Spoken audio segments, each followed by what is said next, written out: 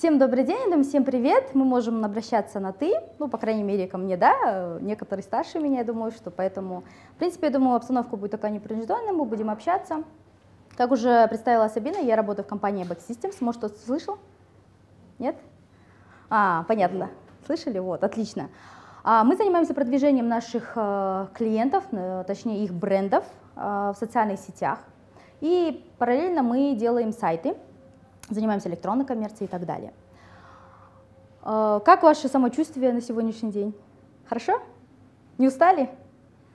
Потерпеть еще чуть-чуть осталось, да? А, нет, вру. По-моему, сейчас сколько? Четыре дня, да, у вас? Ну, я постараюсь, конечно, очень максимально кратко обо всем этом излагать. И первый такой вопрос. Среди вас есть СММ-специалисты? Немножко, да? То есть имеете отношение. А примерно знаете, что это такое? Слышали хотя бы? Нет? Правильно, не надо. А слышали какие-нибудь анекдоты, может быть, приколы, касающиеся э, СММщиков? Нет. Нет никак? Ага. Ну, хорошо. Наверное, э, самый такой яркий, который я хотела бы сказать, это, к примеру, так. А, звонит клиент СММщику, а он говорит, извините, вы не можете, шепотом говорит, извините, вы не можете перезвонить, я работаю, ой, я сейчас на уроке алгебры, то есть я буду работать после обеда. Ну, то есть э, ходит такое мнение, в принципе, оно не, не, можно сказать, что в некотором роде оно обосновано. А мнение о том, что SMM занимаются все, в том числе школьники. Но это мы к этому вернемся чуть позже. Для начала. SMM быть или не быть?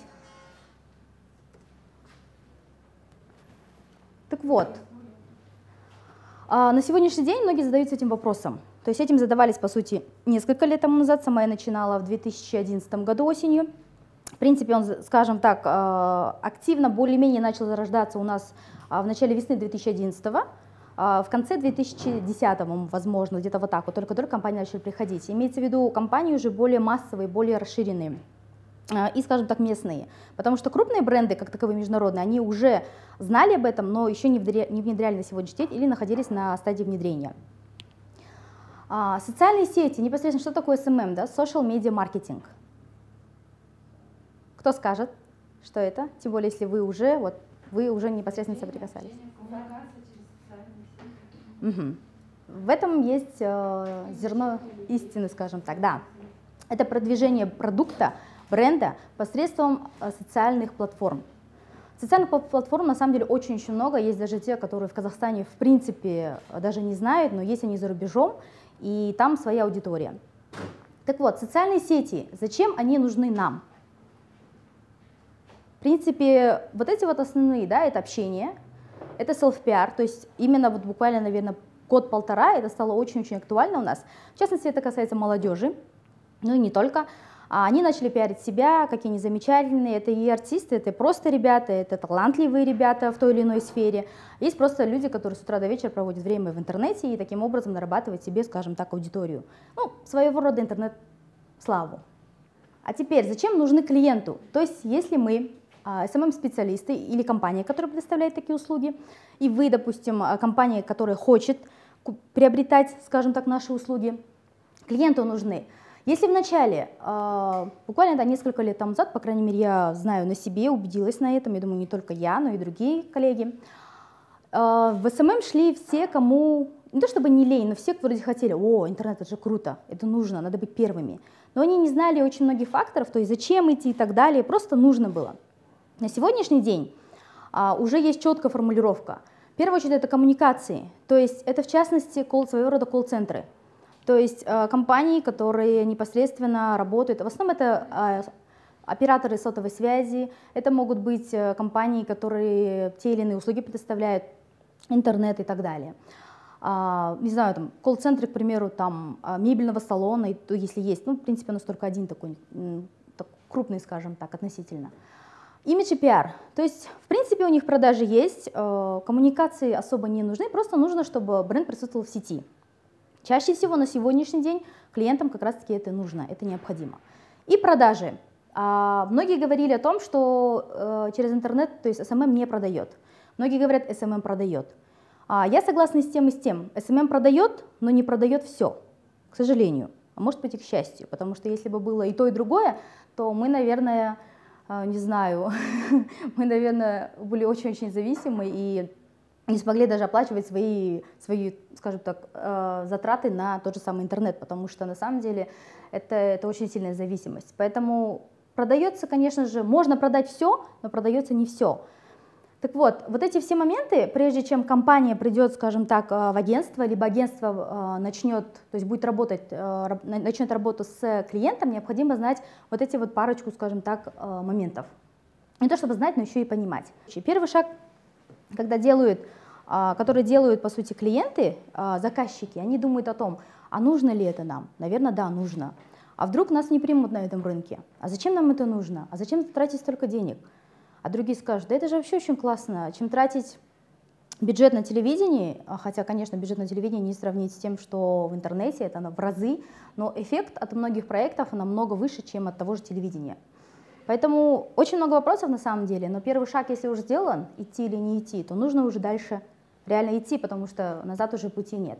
Многие клиенты не знают, чаще приходят, мы хотим. Принеси то, не знаю что, мы хотим то, не знаем что. Поэтому им необходимо, если мы исполнители, либо в принципе, если вы заказчики, то вы должны четко знать, что мы хотим достичь.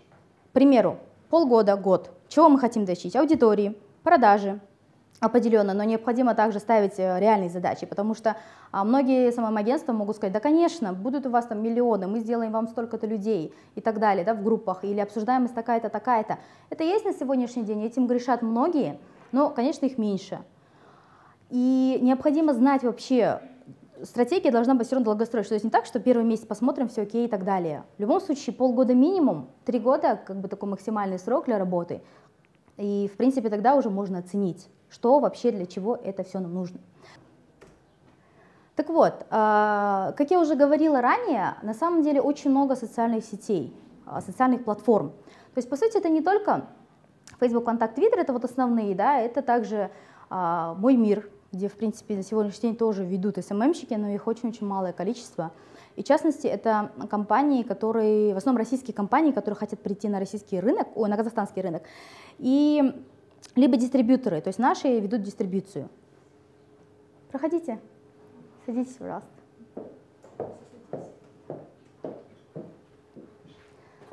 Есть э, буквально последние, наверное, месяц, полгода, да, может быть, где-то 8 месяцев, э, золотая лихорадка, это у нас одноклассники. Потому что аудитория одноклассников растет с каждым днем, но вести э, в, в Одноклассниках как таковой, да, не все клиенты хотят, не все клиенты лиш, э, решаются. Поэтому необходим тоже глубокий анализ, прежде чем идти туда. Хотя вот многие наши социальные, э, в социальной сети именно сотовые операторы, они идут туда, они все прям буквально хлынули. Почему знаю? Потому что мы вот ведем Билайн э, в социальных сетях.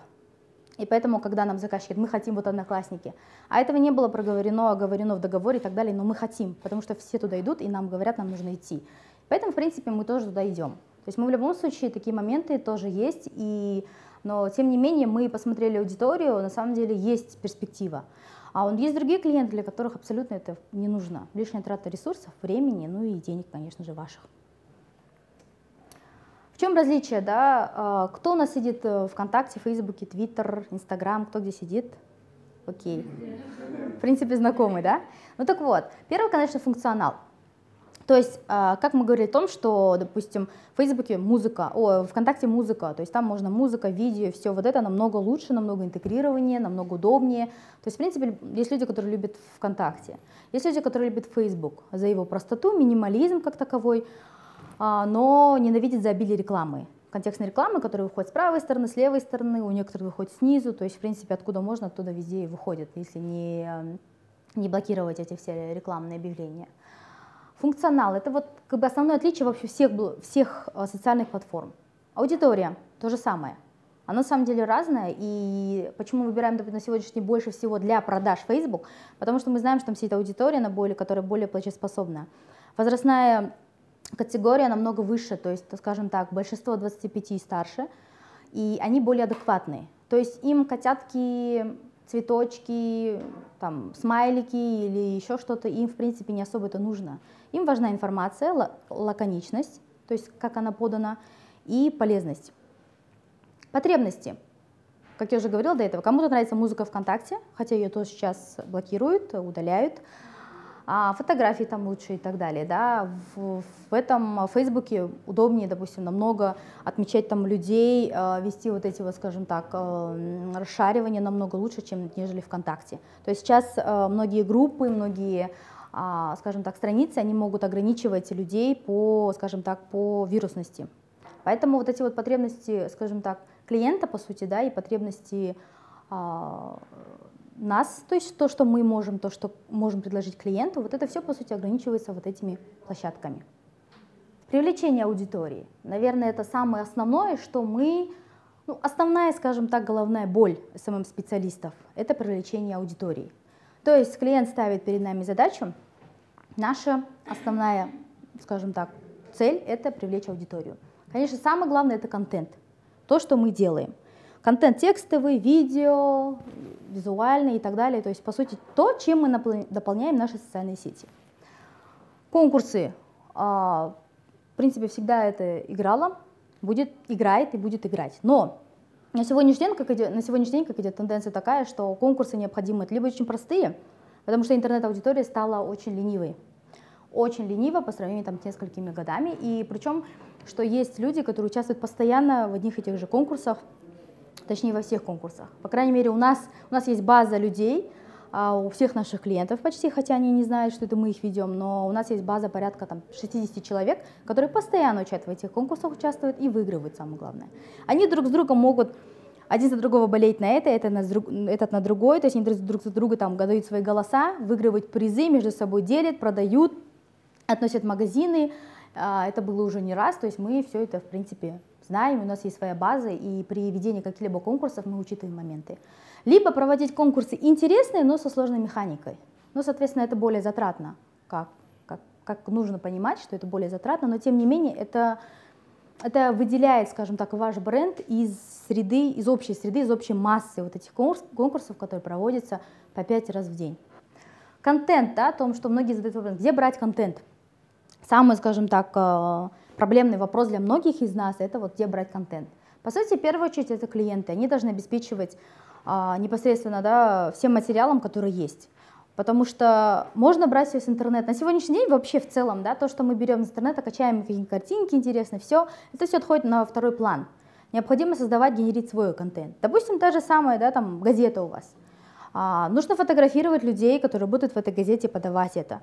А, необходимо фотографировать там процессы и так далее. То есть все должны быть родные газеты. Можно тоже взять фотографии, готовые с Нью-Йорк Таймс, и там, не знаю, там и брать это все, и подставлять там в фотошопе, это все возможно, но это не вызывает доверия у людей.